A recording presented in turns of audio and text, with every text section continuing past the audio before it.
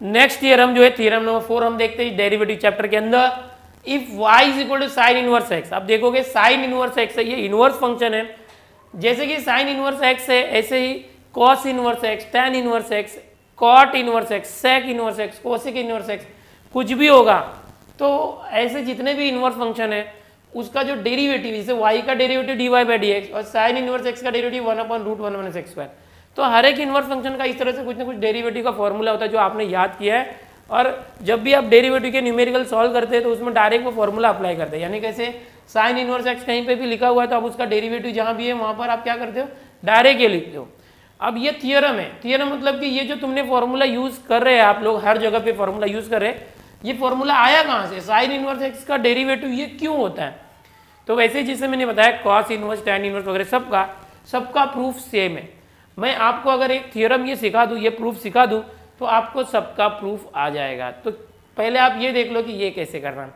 तो चलो देखते हैं, इसको स्टार्ट करते हैं कि y is equal to sine inverse है एक्स और इसमें जो x है, ये एंगल है साइन इनवर्स का। ये माइनस वन और प्लस वन के बीच में होना चाहिए, और ये जो y की वैल्यू है, वो माइनस नाइन्टी और नाइन्टी के बीच में आएगा। ये दिया है और ये होता है। तो सबसे पहले हम लोग क्या करते हैं कि कंसिडर करो। हर बार की तरह आप कंसिडर करो y is equal to sine inverse x दिया हुआ है।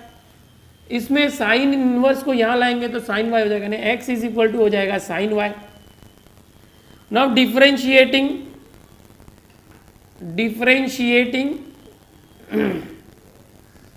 with respect to y derivate x का derivative x upon d y sine y का डेरिवेटिव हो जाएगा कॉस वाई हमने क्या किया? विथ रेस्पेक्ट टू वाई किया। हर बार आप विथ रेस्पेक्ट टू एक्स करते हो। यहाँ पर हमने साइन वाई का derivative with respect to y लिया तो कॉस वाई और डी एक्स का अपॉन डी वाई हो गया। लेकिन हमें तो d y by d x चाहिए था। तो हम क्या करते हैं? इसका रेसिप्रोकल करते हैं। इसको d y upon d x लिख दो। D x upon d y को। कॉस वाई हो जाएगा वन अपॉन साइन वाई अरे वन अपॉन कॉस वाई हो जाएगा। रेसिप्रोकल कर रहे सिर्फ़। D x upon d y को d y upon d x किया। कॉस वाई अपॉन वन था तो वन अपॉन कॉस वाई हुआ। अब हमको एक फॉर्मूला मालूम है। कि cos square theta is to one minus sine square theta और ये स्क्वायर उस तरफ़ गया तो स्क्वायर रूट हो जाएगा प्लस माइनस प्लस माइनस तो ये यहाँ यूज़ करने वाले d y upon d x is to one upon जो कॉस वाई है, इसको मैं करता हूँ plus minus under root one minus sine square y ये हमने कर दिया। सेम फॉर्मूला कॉस थीटा जो कॉस थीटा है under root one minus sine square theta वो फॉर्मूला यूज़ किया। कॉस वाई को हमने क्या किया? Under root one minus sine square plus minus यहाँ पर दिया। अब होगा क्या? कि जो d y by d x है। One upon plus minus under root one minus. देखो साइन स्क्वायर वाई है बट साइन वाई यहाँ देखोगे साइन वाई की वैल्यू एक्स है। समझो ये वन है तो ये एक्स हो गया। साइन वाई एक्स हो गया, उसका स्क्वायर इसलिए एक्स स्क्वायर किया। साइन वाई एक्स है फ्रॉम वन यहाँ पर हमने क्या किया? एक्स स्क्वायर कहाँ से आया? फ्रॉम वन ये हो गया। अब ये प्लस माइनस में से कौन सा साइन सेलेक्ट करें?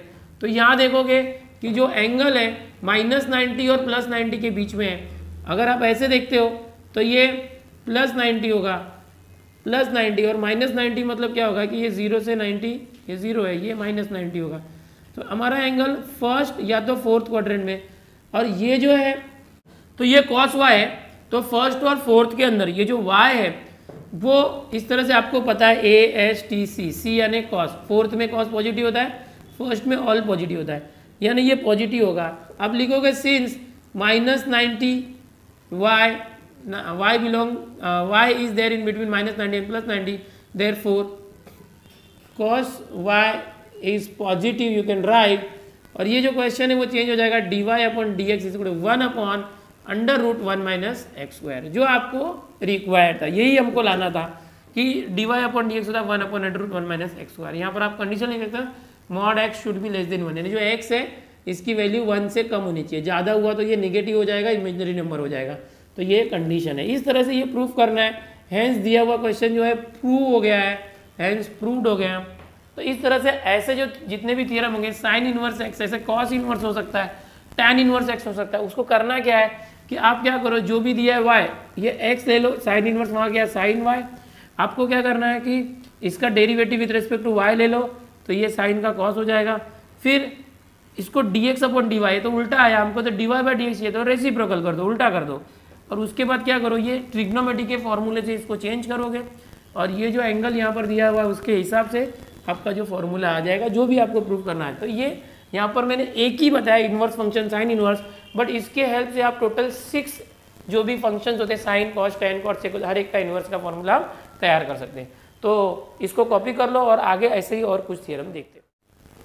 अब देखते हैं थियरम नंबर फाइव जो पैरामेट्रिक फ़ंक्शंस के ऊपर थियरम है। ये क्या कहता है? अगर x if x is equal to f t function of t है and y is function of t are two differentiable functions of parameter t यहाँ पर t पैरामीटर है। Such that y is a function of x then prove that अभी आपने ये बहुत बार use किया है पैरामीट्रिक फ़ंक्शन जब भी आप भी डेरिवेटिव के चैप्टर सॉल्व करते थे। So d y by d x d y by d t या डी थीटा आता था। D x upon d theta या डी टी आता था। तो ये कैसे प्रूव करना है? बहुत ही चीज़ है, जैसा भी हमने theorem one two three solve किया था। बिल्कुल उसी तरह से इसको करना है। तो सबसे पहले आप क्या लिखोगे? कंसिडर कर लो यहाँ पर कंसिडर यहाँ प्रूफ लिख देते प्रूफ आप कंसिडर कर लो कि जो इसके अंदर एक्स और वाई है तो consider delta x is small increment in x similarly delta y is small increment in y and जो डेल्टा टी है is small increment in t इस तरह सबसे पहले आप लिख दो कि ये डेल्टा एक्स डेल्टा वाई और डेल्टा टी क्या है? जैसे और यहाँ पर आप ऐसे लिख सकते delta x since as delta x tends to zero delta y tends to zero delta t tends to zero ये आप लिख सकते हो। बाद में ये जो दिया हुआ चीज़ है, उसको ही डेल्टा के फॉर्म में लिखो कंसिडर वापस करके लिखो consider d y upon d x को आप delta y upon delta x लिखो। यहाँ जो d y by d t है, उसको delta x delta y upon delta t लिखो। डेल्टा एक्स अपॉन ये है तो delta x upon delta t. आप क्या करो, जहाँ पे भी डी है वहाँ डेल्टा कर दो। ये कर दिया। अब आपको क्या करना है, limit, taking limit taking limit on both side. आप दोनों साइड का लिमिट लेने वाले हो। जैसे आप लिमिट लोगे, क्या हो जाएगा? देखो, इसका limit limit delta x tends to zero, delta y upon delta x is equal to, इसका लिमिट। लिमिट अब नीचे डेल्टा टी है तो आपको डेल्टा टी लेना पड़ेगा। Delta t tends to zero delta y upon delta t upon यहाँ पर लिमिट यहाँ भी डेल्टा टी है तो delta t tends to zero delta x upon delta t तो इस तरह से आप देखोगे हमने इसको जो लिमिट के फॉर्मेट में किया, आगे देखते हैं। अब ये जो राइट साइड है, इसमें आप लिखने वाले हो कि लिमिट ये जो है, delta t tends to zero delta y upon delta t this is equal to delta को डी कर दो d y upon d t जब भी डेल्टा को डी करते लिमिट हट जाता है। एग्जिस्ट आपको लिखना है एंड फाइनाइट लिखना है। और ये जो दूसरा है, उसको भी सेम करो limit delta t tends to zero delta x upon delta t is equal to d x upon d t क्या किया? जो डेल्टा था उसको डी कर दिया यहाँ डेल्टा है। डेल्टा को डी करो और एक्स और टी करो। इसको भी लिखो एग्जिस्ट एंड फाइनाइट अब ये दोनों कहाँ पर थे? देखो, ये राइट साइड में थे। तो आप क्या लिखोगे? Therefore limit on right side right hand side exist side लिख सकते side exist and finite therefore, limit on left hand side should exist. यहाँ पर अगर राइट साइड की लिमिट एग्जिस्ट हो रही है तो लेफ़्ट साइड की भी लिमिट एग्जिस्ट होनी चाहिए। देयरफॉर ये जो लिमिट है, इसको भी चेंज करो। Limit delta x tends to zero delta y upon delta x है। यहाँ लिमिट और डेल्टा हटा के d y upon d x हम लिखते हैं। इसको इक्वेशन नंबर वन दे सकते हैं। इसको इक्वेशन नंबर वन दे दो। ये हमारा इक्वेशन नंबर वन है। Equation number two and equation number three and four भी ले लो। From one two three and four अब क्या करोगे?